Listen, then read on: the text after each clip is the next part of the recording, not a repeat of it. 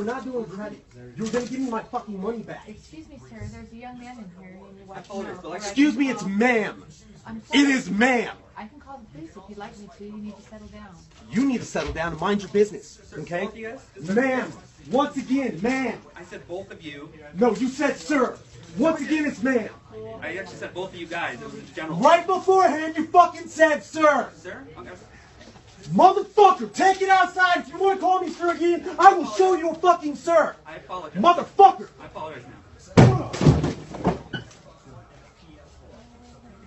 I need your corporate number because I'm going to talk, call them and talk about how I was misgendered several times in this store. I apologize for that. I need your corporate number now. Get that for you. Feels like that's not a problem. Get it for me now. I can do that. I'm going to ask you to calm down and stop cussing. Give me your corporate hitting number. Mr. Improper. Well, I'm going to ask you for the fifth time to stop calling me a man because quite clearly I am not. And I apologize. For, I'm sorry for that, ma'am. I will get you that number. Is that okay? Yes, I'm get it for me now. I'm asking you to stop Get it cussing. for me now. I'm, I'm not cussing. I'm not cussing. Okay. Get me the damn number now, please. Ooh, Ma'am. Ma'am, I apologize. ooh. I apologize, ma'am. Yes. I will get you that number right now. Okay.